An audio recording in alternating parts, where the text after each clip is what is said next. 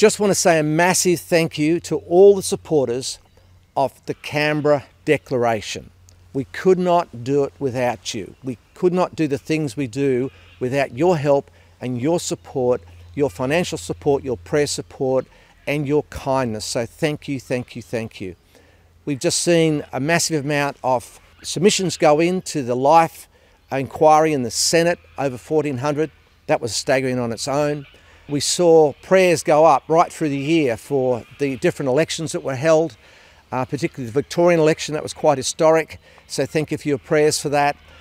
And we didn't see a great result, but we have seen some Christians elected into the Victorian Parliament, and, and that's got to be good news. We'd also like to thank you too for your help with the outreach in May when we prayed for Go 2022.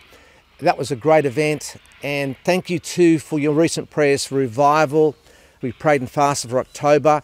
God's doing good things in our nation. So, on behalf of Kim and Nell, uh, myself and Alison, my beautiful wife, Kurt and Angie, uh, Cody and Jean Westbury. We just want to say we appreciate you, we thank you, and let's keep on keeping on. And we are going to be talking a bit about later this week about the prayer relay. So keep your eyes peeled. God bless you.